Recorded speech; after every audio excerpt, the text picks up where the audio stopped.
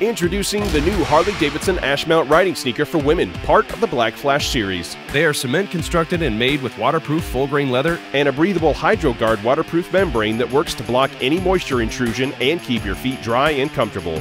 Built with a high visibility reflective underlay to help you be seen, these sneakers offer a distinctive waterproof reflective leather with a natural raised grain made from optical grade glass. The microscopic beads are adhered to a surface to create a maximum innovative finish.